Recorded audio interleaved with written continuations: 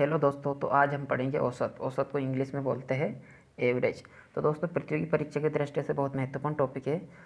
तो आज हम इसको बिल्कुल आसान और सिंपल तरीके से करना सीखेंगे। इससे पहले हमने औसत के बेसिक लेवल के क्वेश्चन का वीडियो हमने अपलोड कर दिया है। तो आपने वो नहीं देखा तो प्लीज़ वीडियो के प्ले में जाकर देखिए, जिससे आपको समझने में और भी सहूलियत महसूस होगी। तो चलते पहले क्वेश्चन पर। तो दोस्तों, ये रहा पहला क्वेश्चन निम्नलिखित संख्याओं का औसत क्या है? तो हमें संख्या कौन सी दी है? छिहत्तर, अड़तालीस, चौरासी, छाछठ, सत्तर और चौंसठ. तो इसका क्या बताना हमें? औसत. तो इस प्रकार के क्वेश्चन को हल करने के लिए सिंपल फार्मूला दोस्तों, औसत निकालने का, क्योंकि इसके बिना आप इसको नहीं निकाल सकते. तो सूत्र क्या है? परिमाणों का योग बटे में परिमाणों की संख्या। क्या दोस्तों? परिमाणों की संख्या। यानी जो हमें संख्या दे रहा है कि इसका योग करना है और बटे में इसकी लिखनी है संख्या। जैसे हम इसको करते हैं, इसका योग करेंगे तो इसको हम जोड़ देंगे। तो चार और ज़ीरो चार और छः, दस और चार, चौदह और आठ, बाईस और छः, अट्ठाईस के आठ और हासिल आए दो। छः और सात, तेरह तेरह छः उन्नीस उन्नीस आठ सत्ताईस सत्ताईस चार इकतीस और इकतीस और सात अड़तीस और दो हासिल के उनचालीस चालीस। तो हमारा दोस्तों, परिणामों का योग कितना आया? चार सौ आठ। और परिणामों की संख्या की बात करें, दोस्तों, ये संख्या कितनी? एक, दो, तीन, चार, पाँच, छः। तो ये है छः। अब छः से हम इसमें भाग दे देंगे। तो छः छः छत्तीस कितनी बार गया दोस्तों? छः बार बचा कितना? चार। उतारेंगे हम आठ। छियाठ अड़तालीस। तो हमारा आंसर क्या है दोस्तों? अड़सठ। तो निम्नलिखित संख्या का औसत क्या है? तो औसत है दोस्तों इसका अड़सठ। और दोस्तों मैं आपको बता दूँ, इस प्रकार के क्वेश्चन हर परीक्षा में आता है, यानी डायरेक्ट ये का ये क्वेश्चन आपको सिर्फ़ ये संख्या आपको चेंज मिलेगी। और हर परीक्षा में एक क्वेश्चन तो इस प्रकार का आना सौ परसेंट तय है औसत से। मात्र इसी टाइप का। अगर रेलवे ग्रुप डी और NTPC की बात करें तो उस परीक्षा में दोस्तों इस प्रकार के दो क्वेश्चन भी आए हैं पिछले परीक्षा में। क्योंकि दोस्तों इस प्रकार के क्वेश्चन को हल तो कोई भी कर सकता है, लेकिन इसमें क्या है दोस्तों टाइम लगता है। क्योंकि इसको जोड़ना पड़ेगा, जोड़ के और फिर आंसर लाना पड़ेगा। क्योंकि इस प्रकार के क्वेश्चन की कोई शॉर्ट मेथड नहीं है दोस्तों। अगर कोई संख्या सीरियल वाइज दे रखी होती है तो हम उसमें शॉर्ट मेथड लगा लेते हैं। लेकिन ये संख्या क्या दे रखी है दोस्तों? इसका क्रम, जैसे यहाँ दे रखा छिहत्तर और फिर आ गए डायरेक्ट अड़तालीस, फिर चौरासी, यानी ये क्रम में नहीं है। तो इसलिए दोस्तों, इसको इसी तरीके से हम कर सकते हैं, इसकी कोई शॉर्ट मैटर नहीं है। तो इसलिए इस प्रकार के क्वेश्चन हर परीक्षा में आते हैं, क्योंकि उनको क्या करना है टाइम मेंटेन करना रहता है। अगर जो बच्चा फास्ट है, वो तो फास्ट तो जोड़ के इसका कैलकुलेशन कर लेगा। अगर जो धीमे तरीके से उसका कैलकुलेशन कमज़ोर है तो उसमें, इसमें दो मिनट भी लगा सकता है।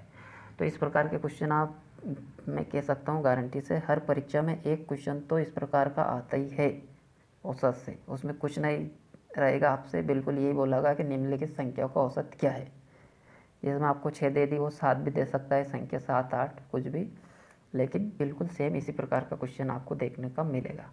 तो चलते अगले क्वेश्चन पर। तो ये रहा अगला क्वेश्चन तीन के प्रथम पाँच गुणजों का औसत क्या है? तो इसमें क्या पूछा दोस्तों हमसे? तीन के प्रथम पाँच गुणजों का औसत। तो गुणजों क्या है दोस्तों? तो मैं आपको समझाता हूँ। हमें तीन का पहाड़ा लेना है। किसका पहाड़ा? तीन का। क्योंकि उसने बोला तीन के प्रथम पाँच गुणजों का औसत। तो जो भी तीन के गुणा में आएँगे संख्या, जो भी तीन के गुणा में आएगी संख्या प्रथम पाँच, उसका औसत पूछा हमसे। तो हमें तीन का पहाड़ा ले लो या तीन का गुणा। तो तीन का प्रथम गुणा तो तीन है।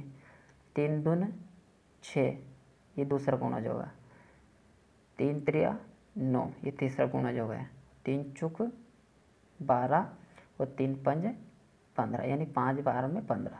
तो उससे क्या पूछा हमसे? तो उसने क्या पूछा हमसे? तीन के प्रथम पाँच गुणज तो दोस्तों, ये कितने गुणज हो गए? एक, दो, तीन, चार, पाँच। तो इसका ही हमसे क्या पूछा? औसत पूछा है। तो गुणजों की बात करें तो इसी को हम कहते हैं गुणज। ठीक है? तो इस प्रकार के क्वेश्चन को आप इस तरीके से हल कर सकते हैं।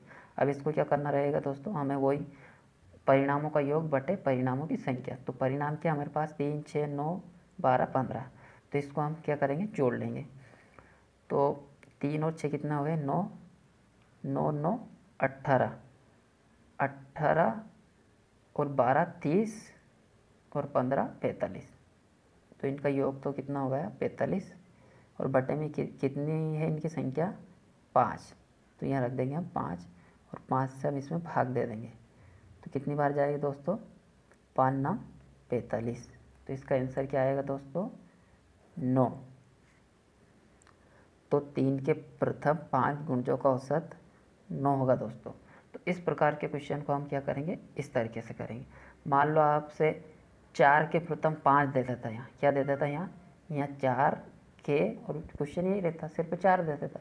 तो हम क्या करते? यहाँ चार के गुणज लेते हैं, जैसे चार एक चार चार दून आठ, ये दूसरा गुणज हो गया चार त्री बारह, और चार चुक सोलह और चार पंज बीस। तो हम दोस्तों इनको जोड़ते और इस प्रकार से करते लेकिन हमारा जो बेसिक करने का तरीका वो यही है दोस्तों। तो ये चार के गुणे बोले तो हम चार ले लेंगे, पाँच के बोलते पाँच के हिसाब से। तो जिस प्रकार का क्वेश्चन वो आपसे कहे, हम कर सकते हैं। तो चार का इसको हल करते। चार और आठ कितने हो गए? बारह। और बारह और बारह, चौबीस। चौबीस और सोलह, चालीस और बीस, साठ। तो क्या हो गया दोस्तों हमारा? योग साठ। और परिणामों की संख्या की बात करें तो एक, दो, तीन, चार, पाँच। तो ये कितनी? है पाँच। पाँच से इसको हम काट देंगे। तो कितनी बार जाएगा दोस्तों? पाँच अगर पाँच एक बार बचे, कितना एक उतारी हमने? ज़ीरो। तो क्या आ गया हमारा आंसर पाँच दून दस तो बारह। तो कितना आ गया हमारा आंसर बारह। तो ये हमारा क्या है? चार के प्रथम पाँच गुणजों का औसत है बारह। तो ये तो है इस सूत्र के माध्यम से, ये बेसिक है। लेकिन दोस्तों, आप इसको और भी आसान तरीके से कर सकते हो। वो कैसे? जैसे आपको प्रथम पाँच गुणज बोले तो मैंने आपको बताया था कि औसत का मतलब होता है बीच। क्या होता है? बीच वाली संख्या। तो आपको क्या करना है? ये संख्या हमने लिख ली। जैसे तीन छः नौ, बारह, पंद्रह। तो हमें क्या करना है? इधर से एक ख़त्म कर दी। इधर से एक, फिर इधर से एक, फिर इधर से एक। और बीच में क्या बच गया दोस्तों? नौ। और हमारा आंसर क्या आया था दोस्तों इस क्वेश्चन में? नौ। तो हम डायरेक्ट बिना कोई झंझट किए इस प्रकार से हल कर सकते बहुत ही सिंपल तरीके से। अगर बात सेकंड क्वेश्चन की करें, दोस्तों इसमें भी कुछ नहीं करना होगा। हमें क्या करना है? बीच वाली संख्या जाना यानी दो इधर की छोड़ दी और दो इस साइड की छोड़ दी। तो बीच में क्या बच गया दोस्तों? हमारा बारह। और आंसर क्या था? हमारा बारह। और इसको जोड़ के करने पर भी क्या आया? हमारा आंसर बारह। तो सरल कौन सा पड़ रहा है दोस्तों? ये सरल पड़ रहा है, लेकिन इसमें क्या है? हमारी एक समझ का काम होगा। तो ये ट्रिक सीरियल वाले क्वेश्चन में लगती है दोस्तों। किसमें लगती है? सीरियल वाले प्रश्न में। जैसे सीरियल चल रहा है इसमें तीन छः नौ, बारह, पंद्रह, यानी एक सीरियल में। लेकिन इससे पहले वाले क्वेश्चन क्या था दोस्तों? बिना सीरियल नंबर का था वो। जैसे छिहत्तर, फिर अड़तालीस आ गए तो चौरासी आ गए, फिर चार सत्तर। तो इस प्रकार के क्वेश्चन को हम इसी तरीके से हल करेंगे। लेकिन अगर आपको इस प्रकार के क्वेश्चन को हल करना हो तो आपको डायरेक्ट उस संख्या के बीच में जाना रहेगा और वही आपका औसत होगा और वही आंसर है। तो चलते अगले क्वेश्चन में। यह आपको समझ में आया होगा। तो दोस्तों, ये रहा अगला क्वेश्चन पाँच संख्याओं का औसत दस है तो कौन सी संख्या जोड़ी जाए कि औसत बारह हो जाए। तो दोस्तों, क्या पूछा हमसे कि कोई पाँच संख्या होगी, उसका औसत उसने दिया है दस है। लेकिन इसमें ऐसी कौन सी संख्या जोड़ी जाए कि औसत इसका बढ़कर बारह हो जाए? तो इस प्रकार को क्वेश्चन को करने के लिए हमें क्या करना होगा दोस्तों? जैसे ये पाँच संख्या है तो हमें पाँच लिख लेना है और इंटू इसका औसत कितना है? दस। तो इससे क्या हमारा योग निकल के आ जाएगा? तो एक संख्या बराबर दस है तो पाँच संख्या बराबर कितना हो जाएगा? दस पंच पचास। ठीक है दोस्तों? अब क्या कहा उसने? तो कौन सी संख्या जोड़ी जाए कि औसत बारह हो जाए? तो पहले दोस्तों पाँच संख्या थी। अब एक संख्या हमें जोड़नी है, लेकिन वो पता नहीं है कौन सी है। तो उसको पता करने के लिए क्या करेंगे हम? तो एक संख्या जोड़ेंगे तो पाँच और एक कितनी हो जाएगी दोस्तों? छः। अब छः संख्या होने के बाद में दोस्तों उसका औसत क्या हो जाएगा? औसत वो कह रहा है कि एक संख्या कौन सी जोड़ी जाए कि औसत बारह हो जाए। तो मान लो हम एक जोड़ने के बाद उसका औसत हो जाएगा बारह। तो हम यह रख देंगे बारह। अब इसका कर देंगे हम इंटू तो बारह छंग, बहत्तर। कितना हो जाएगा दोस्तों? बहत्तर। तो ये तो हमारा पहला वाला योग है और ये क्या है? एक संख्या जोड़ने के बाद वाला योग। तो दोस्तों, इस छः छः संख्या के योग में से हम पाँच संख्या के योग को कम कर लेंगे। क्या करेंगे? क्योंकि छः संख्या का योग है बहत्तर और ये कितनी संख्या का योग है? ये पाँच संख्या का योग है। तो छः संख्या में से हम पाँच संख्या को योग कम कर लेंगे तो हमारे पास वो छठी संख्या आ जाएगी। तो हम क्या करेंगे, बहत्तर में से पचास को माइनस करेंगे तो क्या बचेगा हमारे पास? बहत्तर में से पचास को माइनस करेंगे, यानी पचास को घटाएँगे तो हमारे पास बचेगा बाईस। तो दोस्तों, वो छठी संख्या कौन सी है? तो वो छठी संख्या है बाईस। तो इस प्रश्न का आंसर हो जाएगा कि पाँच संख्या का औसत दस है तो कौन सी संख्या जोड़ी जाएगी? औसत कितना हो जाएगा? बारह। तो संख्या है दोस्तों बाईस। तो बाईस जोड़ने पर आपका औसत हो जाएगा बारह। लेकिन इसको शॉर्ट तरीके से कर सकते हैं। वो कैसे? आपको इस, इतना करने की कोई झंझट नहीं है। जैसे पाँच संख्या का औसत उसने दे दिया दस। हमें छठी संख्या जोड़नी है, उससे उसका औसत कितना हो जाएगा दोस्तों? बारह। तो दोस्तों, अब हर एक संख्या का, अगर वो, हर एक संख्या का औसत दस तो है ही। अगर वो छठी संख्या सिर्फ़ दस नंबर लेके आए तो तो औसत में कोई वृद्धि होगी क्या? नहीं होगी, क्योंकि दस तो औसत है ही। अगर वो दस लाए तो औसत क्या रहेगा? दस ही रहेगा।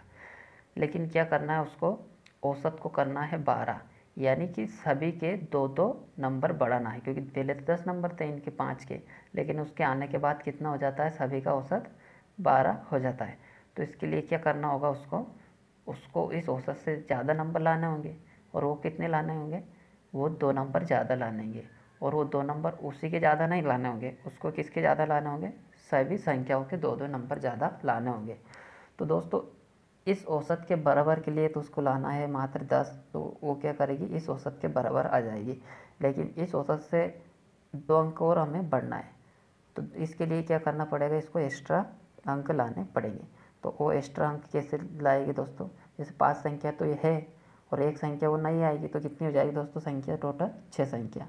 अब ये छः संख्या का औसत दो दो अंक से बढ़ाना है, क्योंकि औसत क्या करना है हमें? बारह।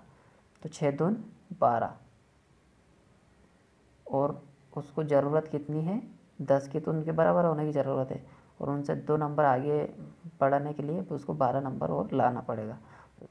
तो दस और बारह, बाईस।